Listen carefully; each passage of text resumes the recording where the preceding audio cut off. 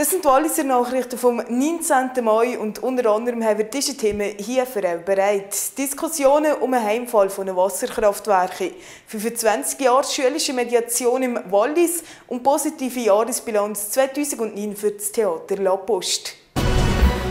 In den nächsten 40 Jahren sind alle Kraftwerke im Wallis vom Heimfall betroffen und kehren damit zurück an den Kanton oder in die Gemeinde.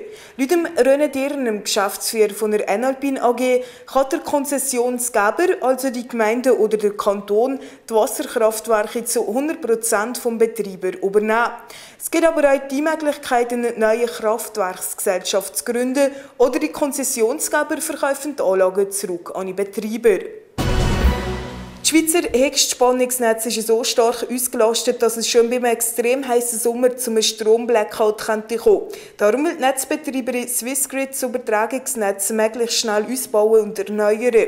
Priorität haben dem Swissgrid-Chef Alain Graf unter anderem die neue Höchstspannungsleitung im Wallis und auf der Nord-Süd-Achse.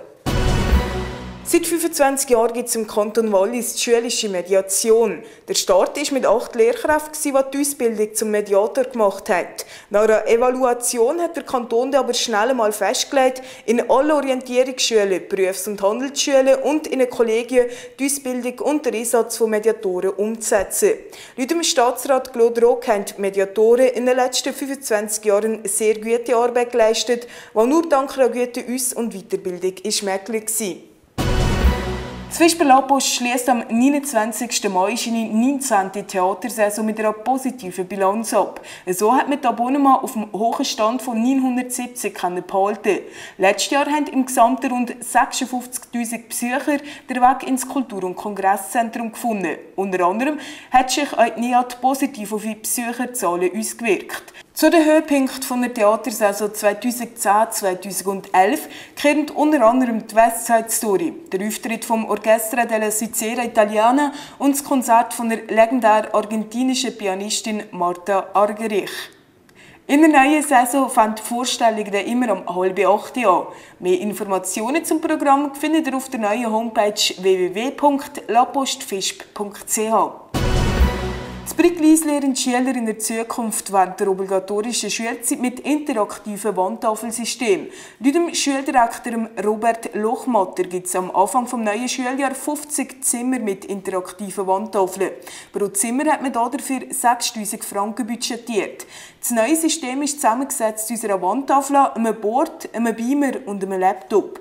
Der Dominik Schanto, Schulleiter von der Primarschule Glies, schafft seit drei Jahren mit diesem System. Die Tafel gibt die Möglichkeit, dass wir sehr schnell komplizierte Grafiken darstellen können. Wir können sehr schnell komplizierte Anwendungen aufschalten, Internet-Lernprogramm.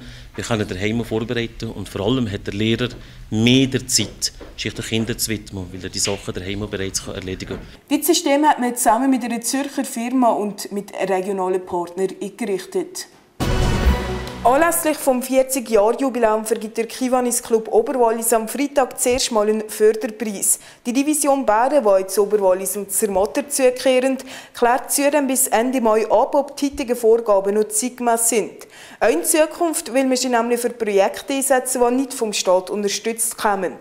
2012 trägt man die Nationale Versammlung vom Distrikt Kiwanis Schweiz-Liechtenstein zu Brügüs. Dafür hat man schon das OK gegründet, das sich ab dem Herbst mit der Organisation befasst.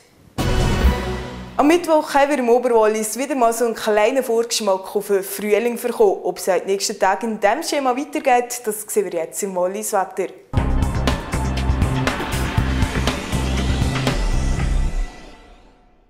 Am Mittwoch ist mit Höchstwerten von bis zu 16 Grad recht sonnig. Zwar haben sie immer wieder mal ein paar Wolken am Oberwalliser Himmel bereit gemacht, trotzdem hat man vorne sitzen und die Sonnenstrahlen genießen. Einladendes Wetter war so da jetzt big, wie wir sie auf der Wetterkamera sehen. Am Donnerstag hat es vor allem am Vormittag und nördlich vom Roten und dichtere Wolken. Im Verlauf des Tages tut es aber auf. Die Temperaturen bleiben im ähnlichen Rahmen bis zu 11 Grad im Goms, im Talgrund gibt es 16, im Saastal 7 und in Zermatt 9 Grad.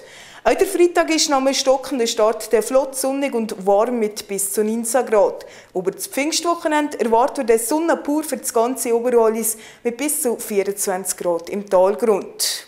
Man darf sich also definitiv freuen. In dem Sinne wünsche ich eine ganz gute Zeit. Bis zum nächsten Mal.